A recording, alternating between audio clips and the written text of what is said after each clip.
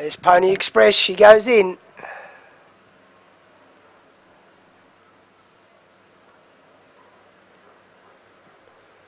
Trial three under starter's orders.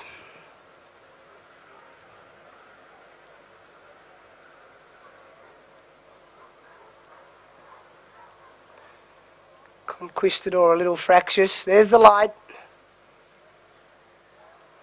Away and racing, uh, Conquistador was the quickest into stride with Pony Express and Mist of Glengarry went back to last.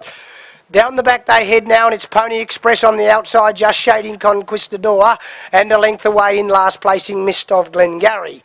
Off the back they come, and it's James Nevin on Pony Express, and they're on top.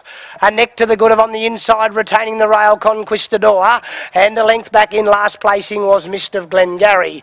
They're making the turn now with 350 to run, and it's Pony Express on the outside. On the inside, Conquistador levelling up, and a length and a half back to Mist of Glengarry.